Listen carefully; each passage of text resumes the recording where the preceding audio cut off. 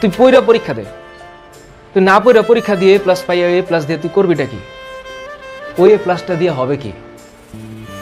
কোনো লাভ নাই। পইরা পরীক্ষা দিয়ে এ প্লাস পা। আর যদি এ প্লাস নাও পাও, তাতেও সমস্যা নেই। কোনো ব্যাপার না। ব্যাপার পরে দেখা যাবে। স্যার এই বুয়েটে চান্স পাবো না। ইউনিভার্সিটিতে ঢাকা ইউনিভার্সিটিতে চান্স পাবো না। ভালো কথা, ঢাকা ইউনিভার্সিটিতে সবাই এমনিও চান্স পাবে না।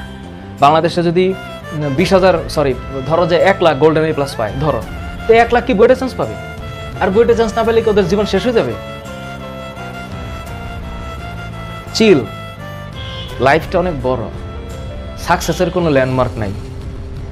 কোনো ল্যান্ডমার্ক নেই। হ্যাঁ বইটা চান্স পাইলে জীবনে সাকসেসফুল হওয়ার মানে গতানুগতিক সামাজিক ব্যবস্থায় সাকসেসফুল হওয়ার পসিবিলিটি বেশি।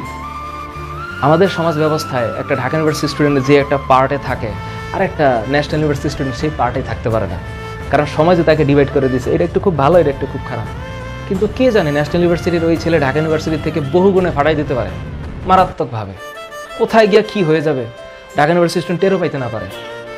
এখন ঘটনা হচ্ছে, আমরাই আসলে এখানে এটা ডিভাইড করে ফেলছি।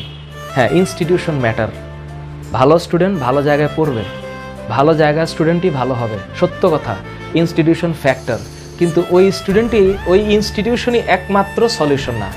আরও সলিউশন আছে জীবনে। এটাই, মাননীয় শিক্ষামন্ত্রীর একটা ভিডিও আমার পেজে আছে। আমি সেখানে কমেন্টগুলো দেখি। এক একজন ফাটাই ফেলতেছে। আরে দূর রাখেন এগুলো আবেগী কথাবার্তা।